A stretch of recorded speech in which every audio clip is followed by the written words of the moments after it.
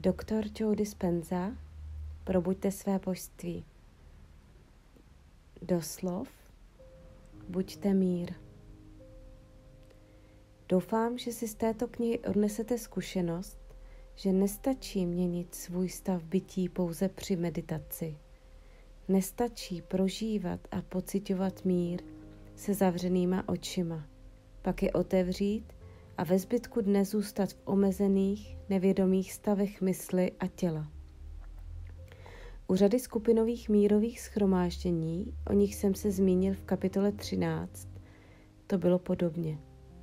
V průběhu meditací se sice snížil počet projevů násilí a zločinnosti, ale po ukončení shromáždění se velmi často násilí a zločinnost vrátily na původní stav. Znamená to, že musíme mír projevovat i svým každodenním konáním, což vyžaduje, abychom do toho zahrnuli i své tělo.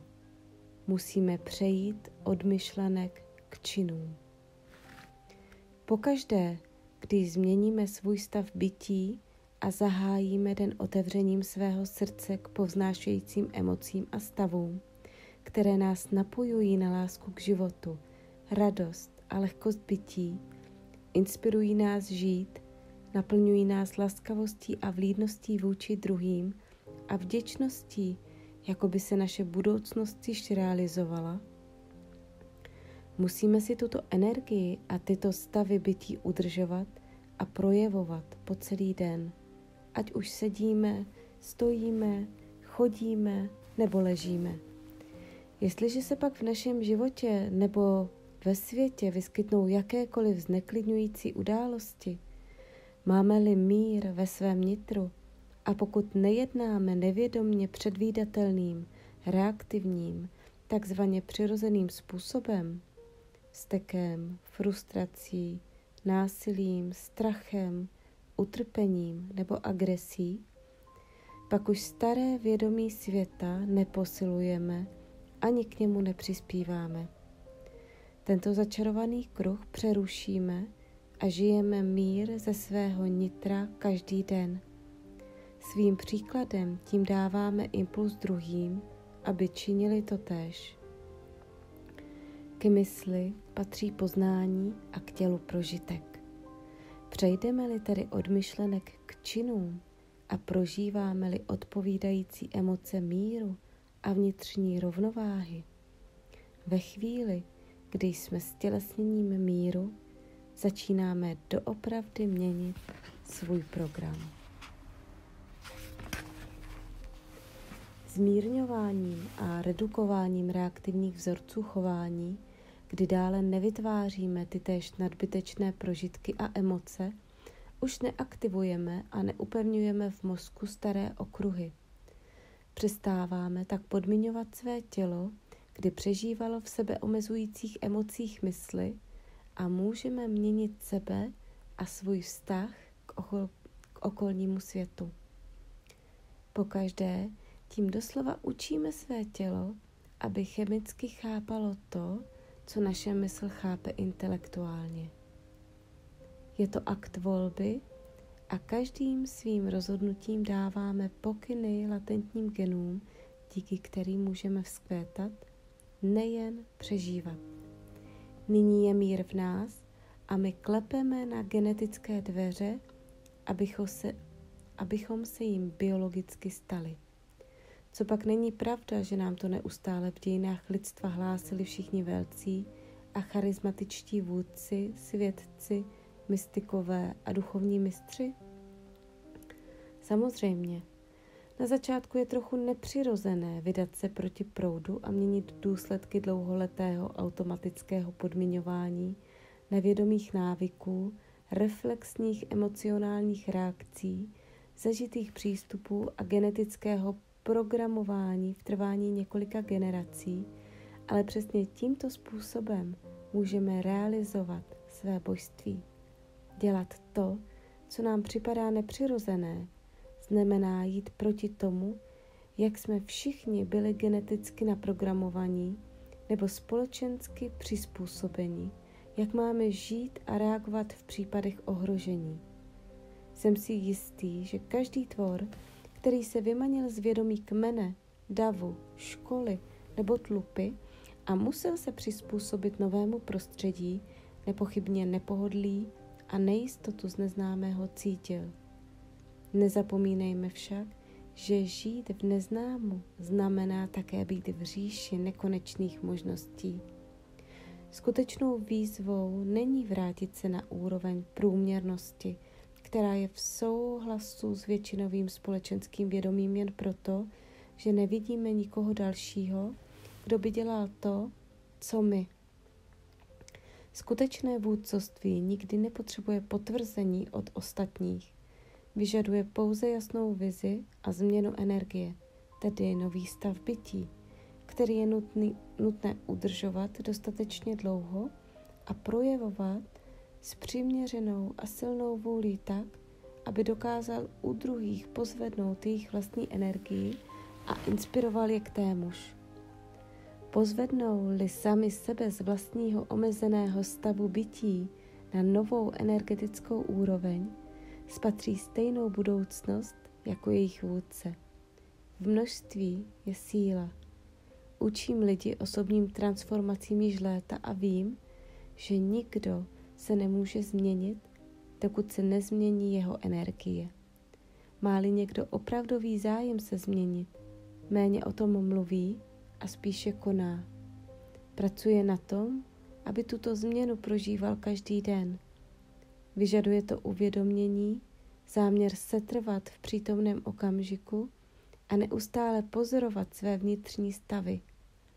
Největší výzvou není snad ani to, že je to spojeno s jistým nepohodlím, spíše nutnost přijmout nepohodlí jako součást procesu, neboť nepohodlí je naše výzva k růstu.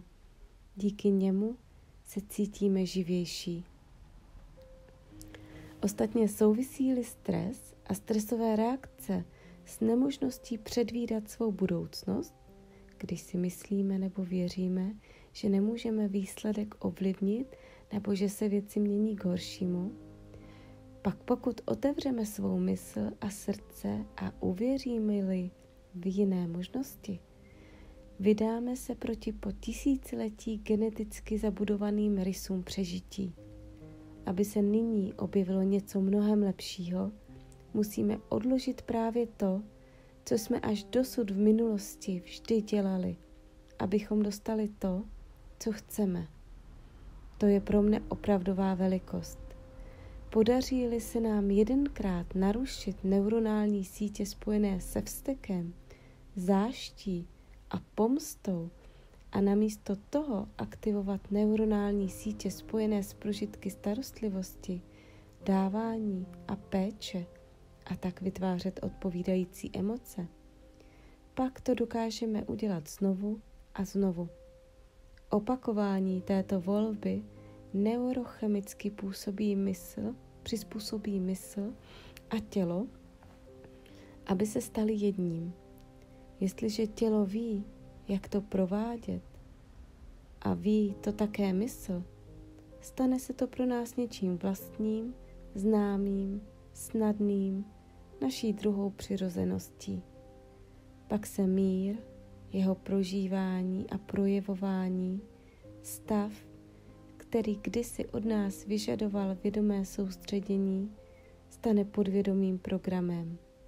Nyní jsme vytvořili nový, míru milovný stav bytí, který se aktivuje automaticky, což znamená, že mír je v nás.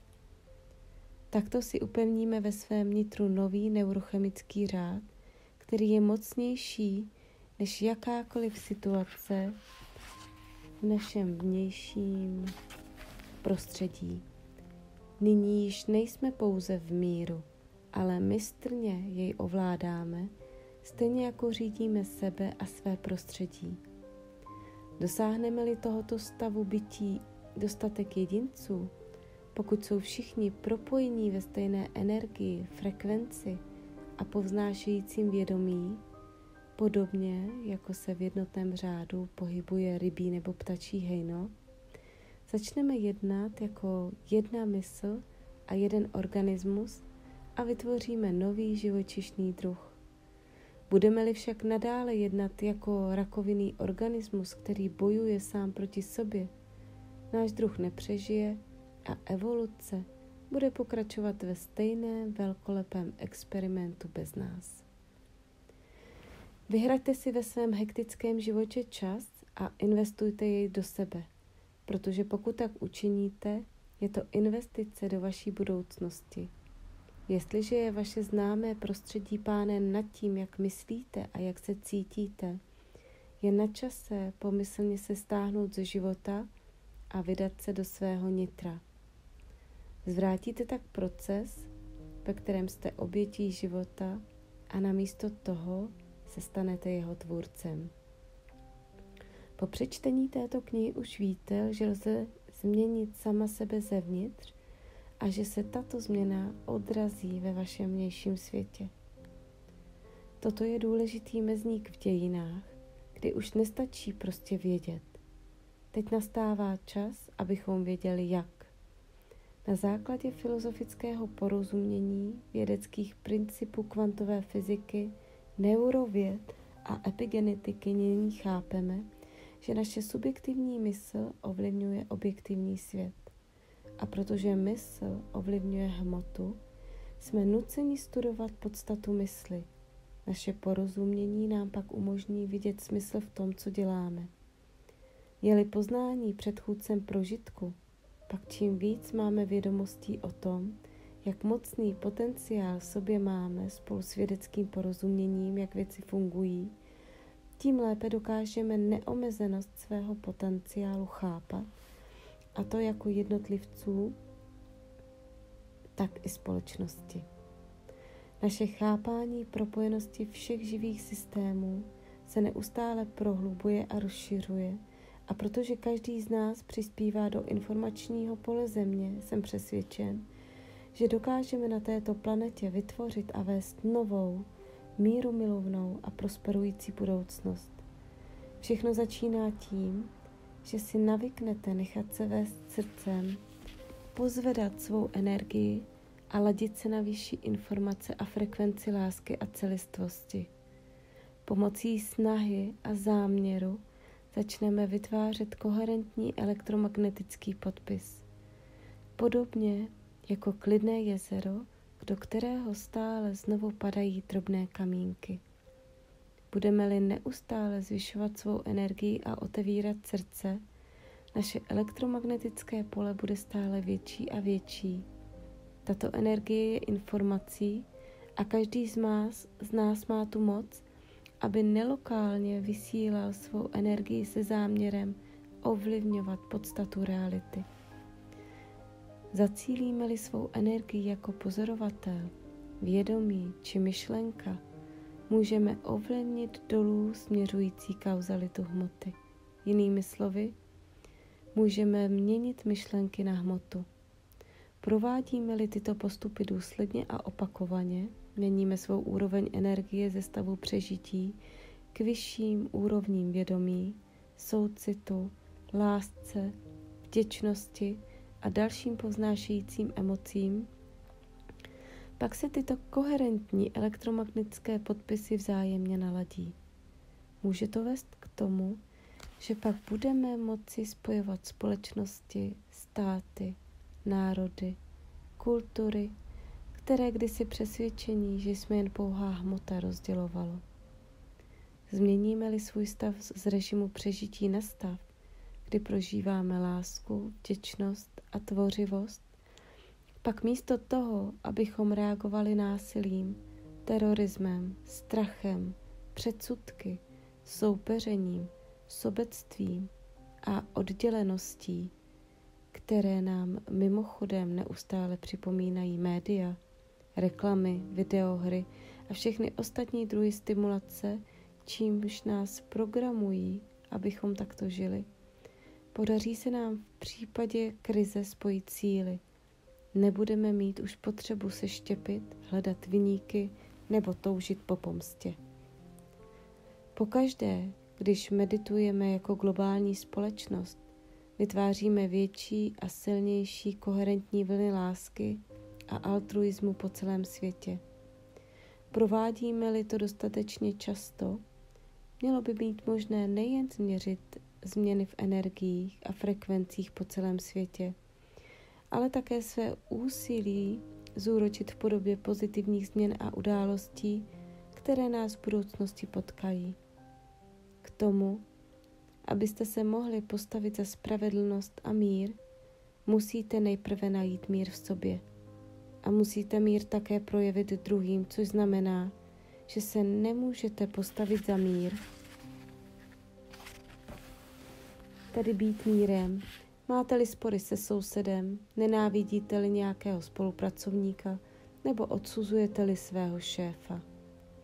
Jestliže si každý, a myslím skutečně každý, zvolí mír a jestliže spojíme síly v přesně stejném čase, zkuste si představit, jakou pozitivní změnu bychom dokázali vyvolat pro naši společnou budoucnost.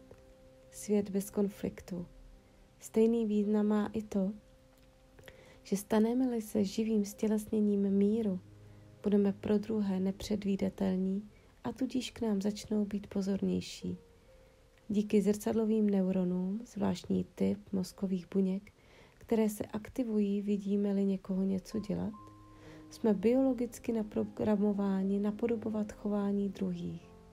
Vzor míru, spravedlnosti, lásky, laskavosti, starostlivosti, pochopení a soucitu stělesněné v naší osobě tak umožňuje druhým otevřít svá srdce a přenést se z bázlivých, agresivních stavů přežití k pocitům celistvosti a propojenosti.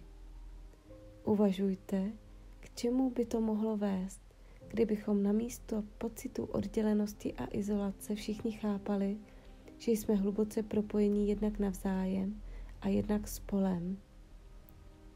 V podstatě bychom mohli začít přebírat zodpovědnost za své myšlenky a emoce, protože bychom konečně pochopili, jak náš stav bytí ovlivňuje veškerý život. Tak to můžeme začít měnit svět. Tím, že nejprve změníme sebe. Budoucnost lidstva neleží v rukou jediné osoby, vůdce nebo spasitele s vyšším vědomím, který nám ukáže cestu.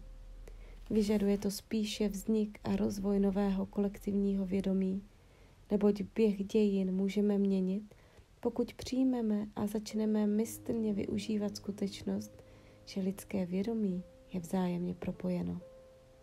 I když se zdá, že se staré struktury a paradigmata hroutí, neměli bychom tomu čelit se strachem, zlostí nebo smutkem, poněvadž se jedná o přirozený proces, který je součástí evoluce a který dělá místo pro nové. Měli bychom naopak vítat budoucnost s tím, že přináší úplně nové světlo, energii a vědomí. Jak jsem zmínil, staré se musí rozpadnout a uvolnit místo, aby mohlo vykvést něco nového. Součástí tohoto procesu je také to, neplýtvat svou energii v emocionálních reakcích na vůdce, autority či lidi, kteří jsou u moci. Reagujeme-li emocionálně, získají naši pozornost a tím se zmocní i naší energie. Tímto způsobem nad námi druzí získávají moc. Naopak si musíme vybudovat postoj z principů, hodnot a etických imperativů, jako je respekt, svoboda, spravedlnost, pravda a rovnost. Dosáhneme-li toho prostřednictvím síly kolektivu, spojuje nás energie jednoty a nejsme pod vlivem pocitu či myšlenky, že jsme odděleni. V takovém případě zastávat se pravdy už není otázkou osobního postoje, ale součástí sjednocující a tvořivé pospolitosti a stává se univerzálním přístupem. Jsem přesvědčen, že se nacházíme na pokraji velkého evolučního skoku. Také by se dalo vyjádřit, že procházíme jakousi iniciací, což pak není iniciace rituálem přechodu z jedné úrovně vědomí do jiné a neslouží snad jako výzva, abychom proskoumali látku, se které jsme utkáni abychom se mohli vyvíjet ke svému vyššímu potenciálu? Možná, až probudíme své vědomí a rozpomeneme se na to, kdo skutečně jsme, budou se moci lidské bytosti jakožto kolektivní vědomí přesunout z režimu přežití ke stavu vzkvétání. Tehdy se projeví naše pravá podstata a my získáme plný přístup ke svým vrozeným schopnostem jako lidských bytostí, a to je dávat, milovat, sloužit a pečovat jak o sebe navzájem, tak o zemi. Co kdybychom se sami sebe každý den zeptali, co by udělala láska? Tímto totiž skutečně jsme, to je naše pravá podstata a budoucnost, kterou tvořím. V ní se každý a každá z nás stává nadpřirozenou a božskou bytostí.